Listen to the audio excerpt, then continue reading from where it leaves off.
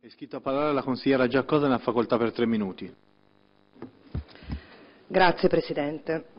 Faccio seguito alle parole dei miei colleghi che sono intervenuti finora, con i quali condivido il vero e profondo rispetto per l'ambiente, per dichiarare che sono contraria al TAV, perché le conseguenze delle trasformazioni del territorio sono e saranno molto pesanti anche per la fauna locale.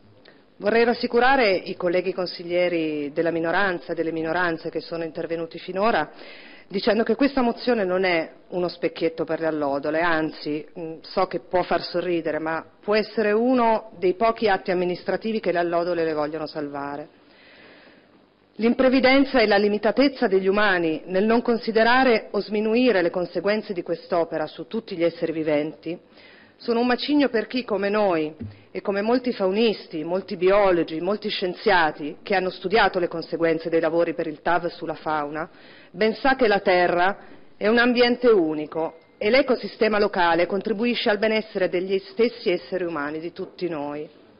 Una pesante variazione dell'ecosistema ne mina la biodiversità e genera danni anche per gli umani.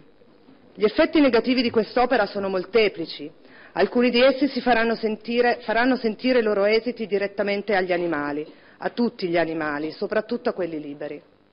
Proprio gli animali liberi sono quelli che soffriranno di più le criticità delle modificazioni sull'ambiente. Parliamo di rumore, di occupazione del suolo, di stravolgimento di sorgenti e corsi d'acqua, di interruzione dei corridoi ecologici, di distruzione assoluta degli habitat. Ma noi siamo umani ci crediamo più intelligenti, più potenti degli animali e della natura in genere. Fino a, che, fino a che non avremo chiaro che danneggiando la natura e sfruttando gli animali, noi grandi umani non saremo nessuno.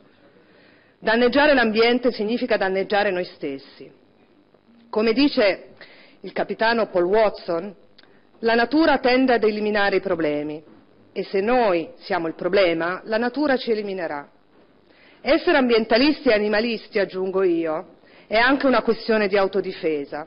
Dobbiamo garantirci la sopravvivenza, perché la Terra sopravviverà, ma se noi non siamo in grado di vivere in armonia con l'ecosistema, ci estingueremo. Pensare che questa devastazione viene perpetrata con il solo scopo di soddisfare gli appetiti di pochi, utilizzando le risorse di tutti e giocando anche sulla pelle degli animali, non può che farci essere ancora più fermi e determinati e affermare orgogliosamente che è anche per questo che usciremo dall'osservatorio. Grazie.